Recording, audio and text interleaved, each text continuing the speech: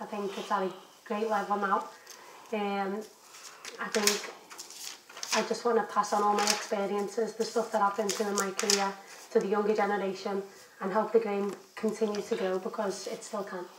When you reflect back on your career and everything that you've achieved, obviously representing England 79 times, going to major tournaments, or the clubs that you've played for, what is it that really stands out to you as the thing that you're most proud of?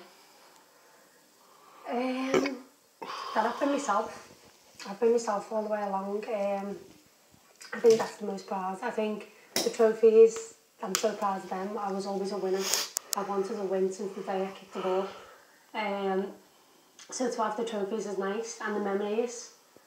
But the fact that I can just walk away and say I've done it my way, you know, I, I had fun along the way, I competed, I gave everything, I had great support, and yeah, we, we have memories to last forever. Yeah, wonderful career from Toni Duggan and one of her former clubs, Manchester City. 5 0 winners earlier on today in the Women's Champions League qualifying second round.